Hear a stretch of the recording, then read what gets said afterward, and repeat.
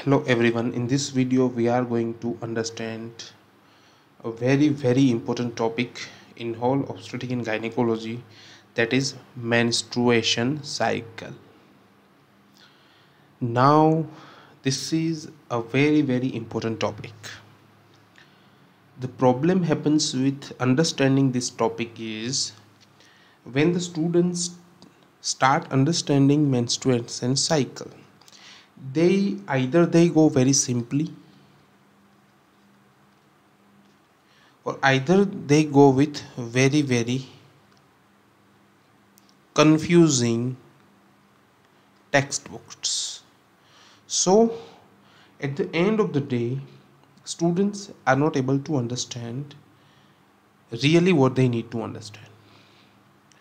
Instead of that they are just uh, confused whether that the estrogen is increasing fsh is increasing lh is there lh surge is there estrogen progesterone corpus luteum follicles all this confusion happens when the students actually try to understand the cycle. On the other hand very simpler books just suggest that that the cycle has two phase one is a follicular phase one is a luteinizing phase. So in follicular phase fsh will be there in lh phase lh will be there in follicular phase estrogen will be there luteal phase progesterone will be there. Here the follicles will develop and here the corpus luteum will be there. And at the day of 14th ovulation occurs. Again this is not also enough. The very simplest way of understanding menstrual cycle is this. But again this is not enough. This is for class 12th students or even 10th these days. So so how to understand the cycle? How a normal student can understand this cycle? We will try to make as easy as possible along with much needed details. Now one thing you guys you need to understand is the menstruation cycle is not ovarian cycle. Ovarian cycle is different thing menstruation cycle is different thing. When we talk about menstruation we talk about a uterus and the endometrium inside that.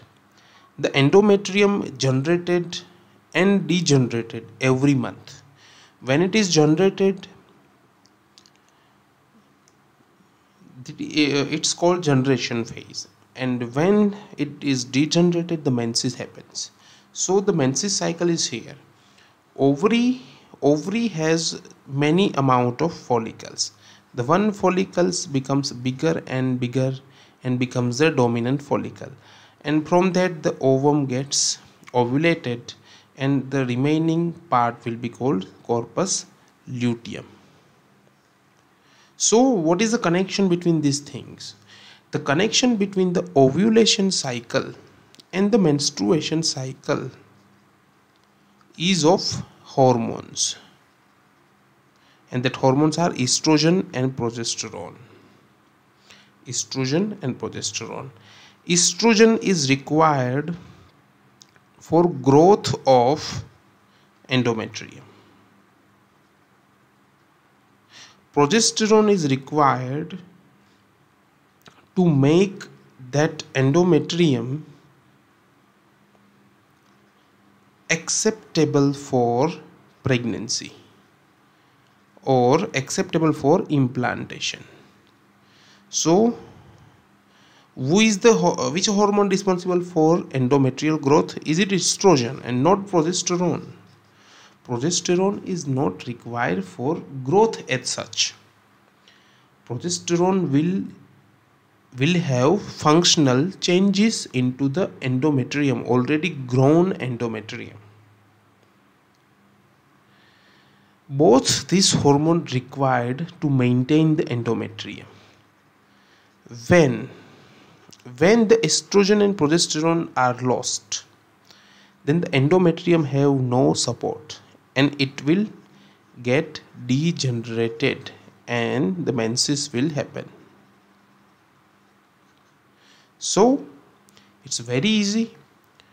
What ovaries do in this matter? When the ovaries are there we see very uh, different amount of follicles. If we see the structure of follicles we have two type of cells there. Granulosa cell and theca cell.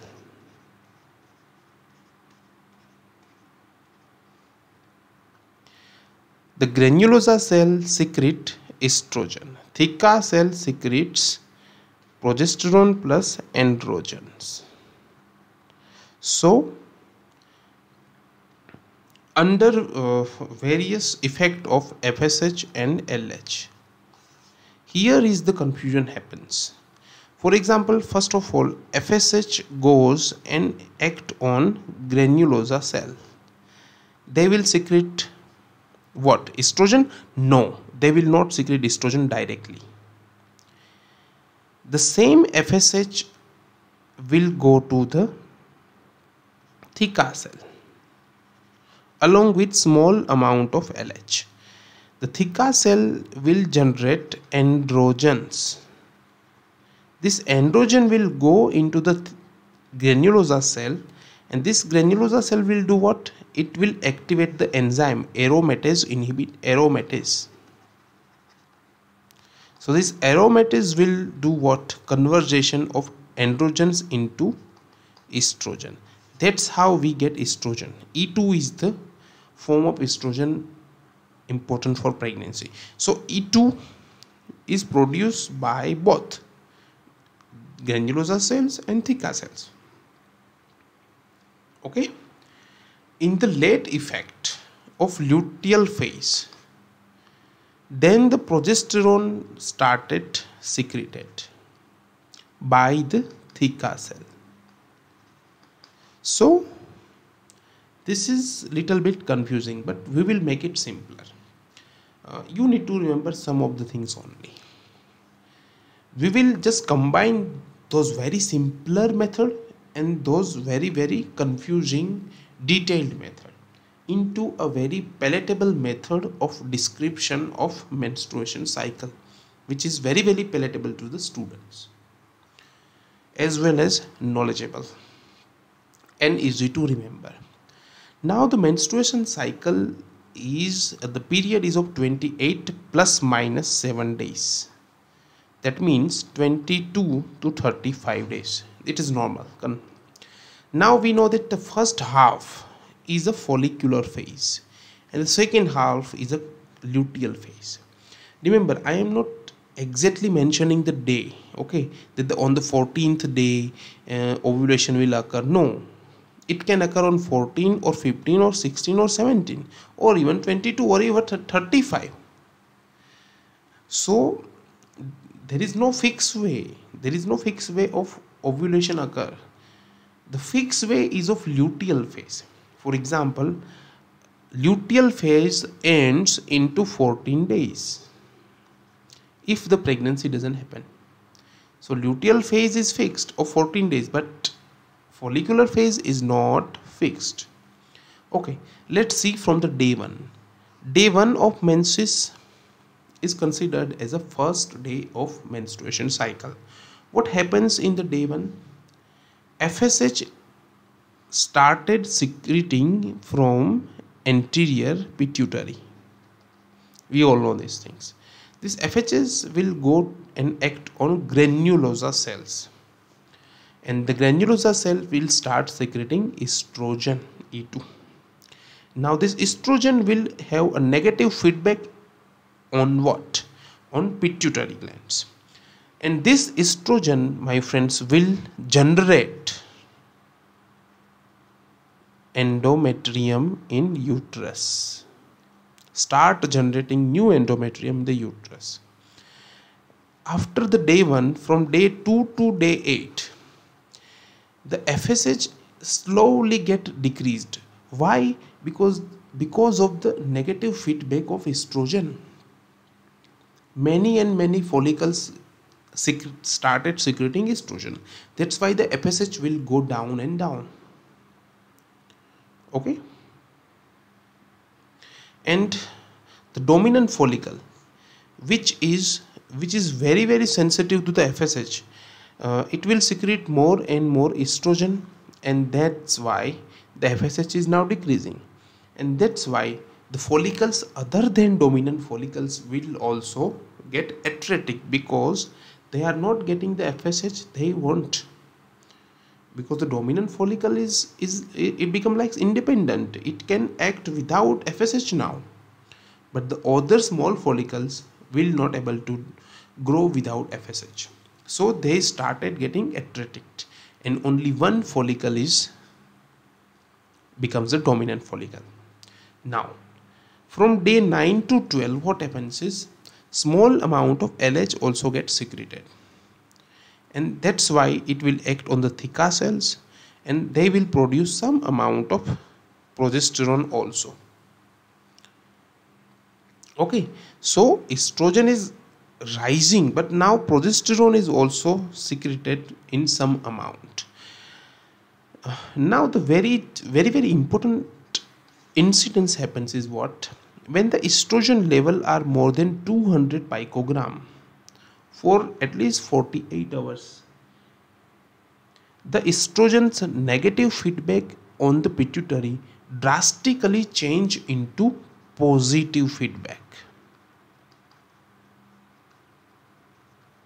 Okay so when the estrogen is there more than 200 microgram for more than 48 hours drastic change will come and the FSH and LH will secrete it and that is called surge.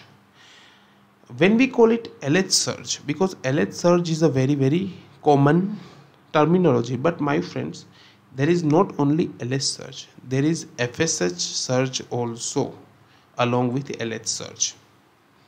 But LH was not being secreted before that much amount that's why it is called LH surge. So both FSH and LH will increase for some time. And uh, that will also increase estrogen and progesterone also. Okay? So with this effect of estrogen and progesterone ovulation occurs. The dominant follicle will rupture and ovulation will occur. We just take it as a day 14 but it's not necessary that the ovulation occurs on day 14 once the ovulation occurs that dominant follicle will change will be converted into corpus luteum that is cl now the corpus luteum has luteinized granulosa cell and theca cell. Both will uh, both of these cells will generate what? Estrogen and progesterone. Both. Not only progesterone my friends. This is where you get confused the cl will generate both estrogen and progesterone. While the dominant follicle will only secrete of what? Estrogen. And only some amount of progesterone in late phase.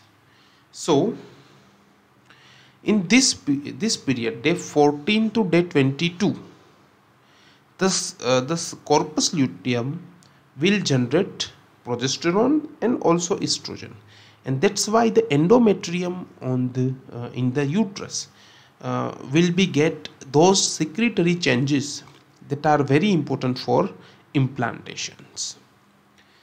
Now this estrogen and progesterone will have negative feedback on FSH and LH now.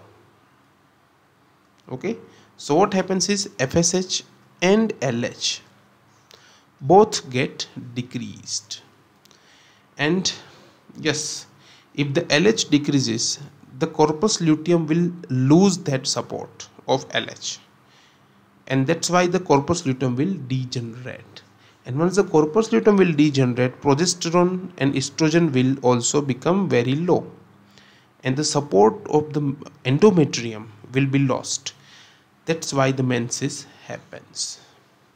Okay